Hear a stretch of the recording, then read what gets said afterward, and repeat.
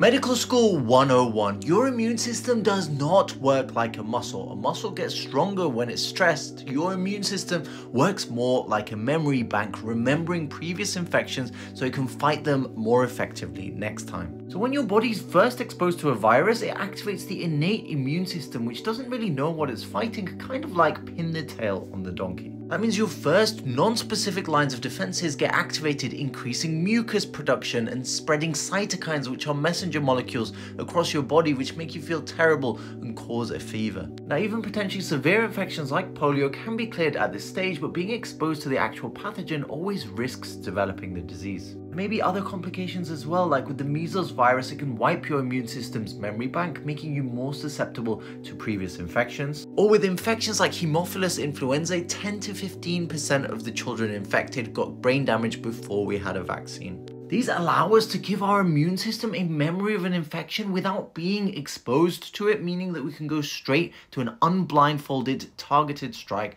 with these antibodies if we're exposed again. We have vaccines against all the diseases that I've mentioned, but uptake is reducing as misinformation causes people to overestimate the risks of vaccines and underestimate the risks of disease.